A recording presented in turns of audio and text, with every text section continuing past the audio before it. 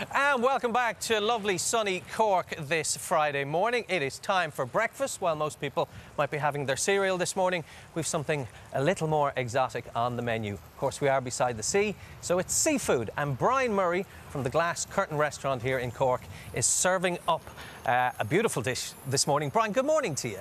Good morning. Thanks for joining us, and thanks for the, such a great welcome we have here in Cork. So, what's on the menu, chef? So this morning I'm doing a little bit of squid, some baby squid, uh, with a aubergine puree, some grilled leeks, baby leeks, and a little pickled lemon, and that's it. Very simple dish.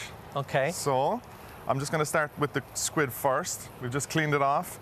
Um, I've the tentacles separate, and it's as you can see they're really small baby squid, so that you're sure they're going to be really tender. I'm just going to season it. I've marinated it in a little olive oil, rosemary, garlic. So you want that to be kind of sizzling. Okay, and we're doing everything on this griddle pan We're this doing morning. pretty This much is how you everything on the it. griddle, yeah. Um, in the restaurant, we've got like a, a charcoal grill, an oven. So I would use that, obviously, if you have, or you can use a barbecue outside. Perfect. Mm-hmm. Just make sure it's nice and hot. All right, so they won't take too long. Then Now, how long is the squid going to take? I would say about three minutes, two to three minutes. Okay. If you have it hot enough, it'll be super fast. So s- similar enough to cooking prawns, perhaps. Cooking prawns, yeah, exactly. Like the longer they are left on there, it's going to get a little bit tougher and can get a bit chewy. So sometimes squid can have a bad name, but that's just because it's overcooked generally. Is that it? Because a lot of people go, "Oh no, yeah. Mm-hmm. that's too chewy." I must ask: Is there a difference between squid and calamari? Um, technically, not really. They are. You will see calamari a lot on the menu, like uh, deep fried. So it's basically just the squid tubes sliced on in rounds, like little rings, battered and fried. But technically, they're interchangeable. with calamari. Okay. Now you have some. Are they leeks on the go with it as well? So yeah, I've got some baby leeks here from Kilbrack Farm, just up in Doneraile there. They supply us a lot of veg and stuff. Um, so I've just really simply just a little olive oil and salt and grilled them. Um, then we've got the aubergine for the aubergine purees here. Basically, real simple preparation. We normally put it straight on the charcoal, but obviously you can use your, your gas burner at home.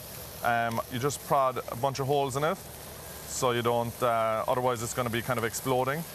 You don't want aubergine exploding around the kitchen.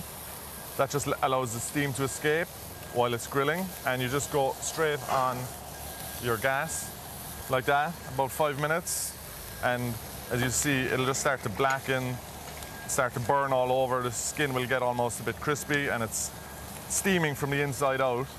And then your next result is you'll you'll peel it, and that's what goes into our puree. So it's real smoky, adds a real creamy, creamy kind of element to it all. Is there a Middle Eastern flavour or Middle sense to Eastern how you're flavour, doing this? Yeah, yeah. Um, normally, again, they put it straight on charcoal to grill it to finish it, but uh, you can do it like this. It's perfectly nice at home. And as you see there now, these guys are nice colour. Colouring up lovely. They're essentially practically practically ready now. Okay, and then with the puree, so you've peeled it, and uh, I think you've showed us how it looks. Yeah, once so you've done all that. finished result. Um, I've used olive oil, lemon juice, a little bit of tahina paste, which is a sesame paste, sesame puree, white sesame puree, um, little cumin and coriander, again classic kind of Middle Eastern flavors, and I have some squid ink in there. You can actually get these in little sachets, or sometimes you'll get them out of the squid that you buy yourself. It's not necessary. It kind of makes it black, and it adds a little bit of a kind of a salinity to it. You know, Does it bring flavour, or is it more bring just for the colour? as well. Yeah. So it adds. It's a little bit salty and briny kind of. So it adds a nice flavour. I'm actually going to just pull this aside now because we're pretty much ready on We're that. done. And like you say, any longer, and that's when it becomes chewy. and that's going to start to get chewy. And then I'm just going to finish it with a little lemon juice. And put that on everything. Oh, lovely. So And would I- this be a a main dish on the menu in the glass curtain? Uh, it could be like one of our small plates or Mm. something like that. We'll do something similar to this.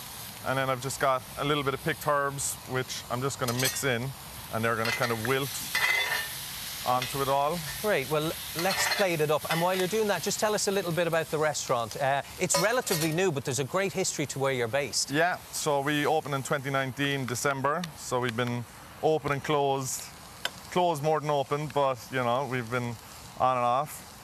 Um, but the building itself has a huge food history locally and nationally almost, all around Munster and everything. Um, it was the Thompson's Bakery, so they were operating from around 1824, I think it is, until 1974, the mid 70s. Um, they were like the biggest employer in Munster at one time. So it's great. We get a lot of people coming into the restaurant who, you know, their grandparents were involved in it, or their parents, or they were all from all walks of life, like you know. Steeped in history, So and of course, it's lovely to have the bit of history there. Cork yeah. has this fine food culture and time. reputation, Yeah. and uh, you're f- part of that and flying the flag for that as well. Hopefully, yeah, and hopefully time to come. So I've just got some pickled lemons here as well. Sliced them really thin, and lovely. a little uh, vinegar and sugar. So they'll add a little kind of a little bitterness and a little spice. Okay, and, And you have a little bit of we've got a little Korean chili flakes. Korean chili. Well, I am going to get For a little stuck into that as my breakfast in just a moment. Uh, good luck with the reopening next week.